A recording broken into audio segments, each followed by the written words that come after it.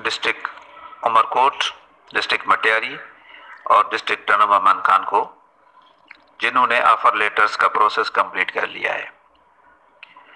और बाकी कुछ डिस्ट्रिक्ट्स भी हैं जो कि कंप्लीशन के आखिरी मरहले में हैं।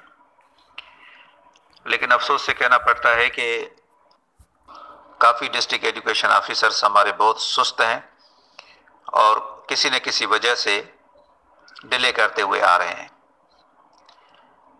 मैं उनको ये आखिरी मौका दे रहा हूँ कि ये इस हफ़्ते की एंड तक सारे के सारे डीओ साहिबान ये प्रोसेस कंप्लीट कर लें और अगले हफ़्ते से जीएसटी का प्रोसेस शुरू करें।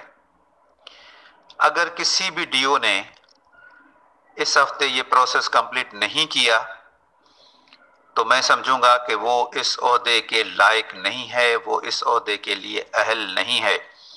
और मैं चीफ सेक्रेटरी को उस डीओ के खिलाफ लिखूँगा कि इसको हटाया जाए। ये इस अहदे के लायक नहीं है, इसको किसी और जगह पे रखा जाए। ये मैं फिर दोबारा कह रहा हूँ कि इस हफ़्ते की एंड तक पीएसटी का प्रोसेस मुकम्मल हो जाना चाहिए।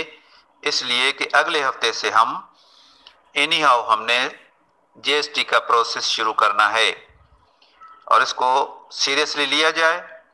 नहीं तो फिर वो डीओ साहिबान अपने नुकसान के जिम्मेवार खुद होंगे।